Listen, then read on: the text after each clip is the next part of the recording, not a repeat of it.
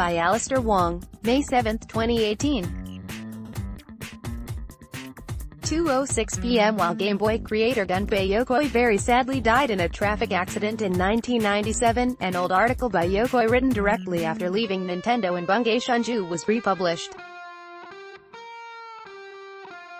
In it, he talks about how the Virtual Boy wasn't the reason he left to form his own company, Koto.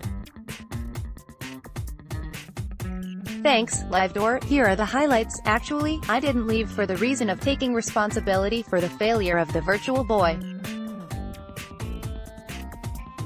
Since before, I've thought about becoming independent after turning 55.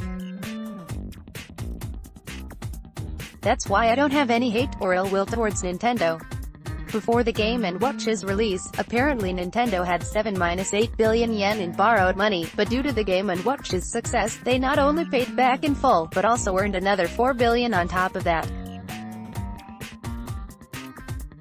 President Hiroshi Yamauchi then took all of that, and threw it all into Famicom investment.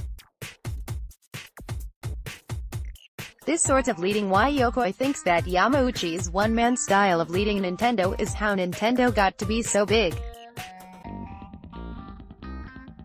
Yokoi decided to leave Nintendo as Nintendo started to increase in size and had more responsibility towards shareholders.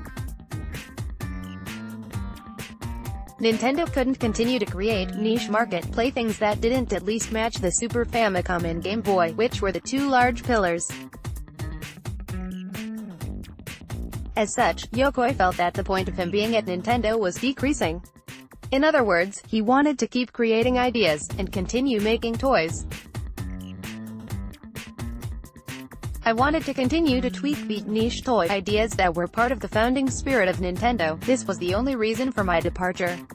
Read more stories about Nintendo on Siliconera.